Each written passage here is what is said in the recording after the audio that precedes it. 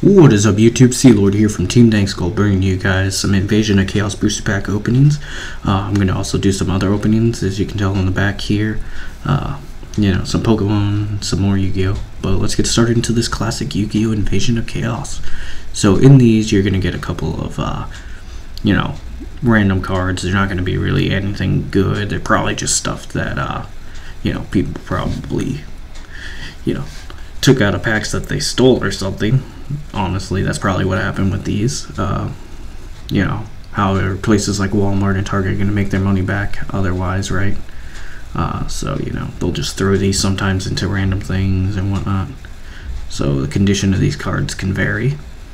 But anyways, uh, let's get started with the actual booster pack. So right here is the first Invasion of Chaos booster pack. Uh, we got Stealth Bird, that's the first card. You know, we got Getsu Fuhma as the rare. Um, we got Salvage. You know, we got some okay stuff. Nothing super great. Hopefully Pack 2 is better.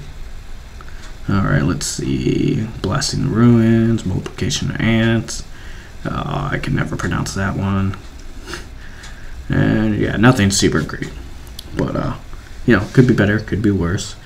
Um, yeah, so if you guys want me to do more Invasion of Chaos booster packs, let me know.